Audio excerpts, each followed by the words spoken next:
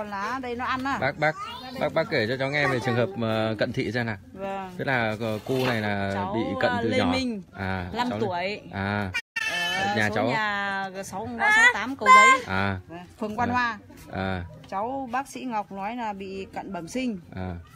Không bao giờ chữa được. Thì đeo kính cho đến năm 18 tuổi thì với mổ. Cháu bị cận từ khi nào? Từ từ nhỏ à? từ 3 tuổi. 3 Ba tuổi. tuổi. bởi vì là đi đi khám đã bị mấy độ rồi bác coi như là cho nó đỡ bò ra. mẹ thì bảo là 9 độ rồi. Ui phải dồi. có kính thì mới nhìn thấy không kính không nhìn hai thấy. Dạ.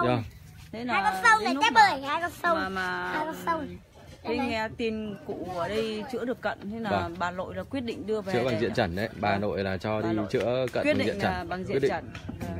thì ờ, hết tuần này là tròn một tháng. Hết tuần này trong một tháng. À. thì cháu giờ xuống hôm vừa rồi kiểm ba tuần to ba tuần vừa rồi kiểm tra cho cháu thì mắt phải thì xuống 6 phần 10 giờ còn 6 mắt phần 10 trái thôi mắt trái còn 5 phần 10 5 phần 10 Cụ về đây cụ bảo là không phải bị cận bẩm sinh. Vâng. Đó là bị nhược thị. Nhược thị à, và cũng cho cháu đi khám ở bệnh viện mắt quốc tế Việt Nga đấy. Vâng. Là rõ ràng ra rồi là về đây cháu bị nhược thị này à, bị um, loạn thị này Vâng. cận thị thì ít. Vâng. Thế thì tuần thứ ba hôm vừa rồi là về Thái Bình kiểm tra cho cháu. Vâng. Thì hôm hai tuần thì xuống cháu xuống 7,25 Ừ. mắt phải 7,25 mắt trái còn 5,25 tức là từ 9 độ sau 3 tuần bấm diện trần bây giờ còn 7,25 Vâng. Dạ, còn sau mắt 3 kia. phần 3 tuần thì hôm vừa rồi về Thái Bình bấm diện trần thì mắt phải của cháu xuống 6 phẩy 6 phẩy còn à, mắt trái xuống 5 phẩy à trước là 9 phẩy trước 9 sau 3 tuần Vâng. trời ơi. Nhanh quá nhỉ? à.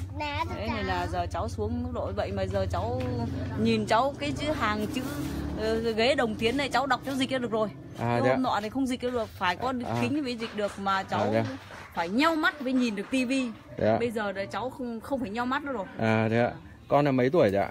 Đây, bác hỏi con, con mấy tuổi rồi con? Con 5 Dạ, tuổi con à? năm tuổi giờ mắt con nhìn rõ chưa Con bác hỏi con nhìn rõ chưa? à, con chưa. Giờ giờ là không phải nheo mắt nữa đúng không? Và không phải nheo mắt nữa rồi. à từ 9 độ xuống còn có 5 độ Không có kính là cháu không đọc gì.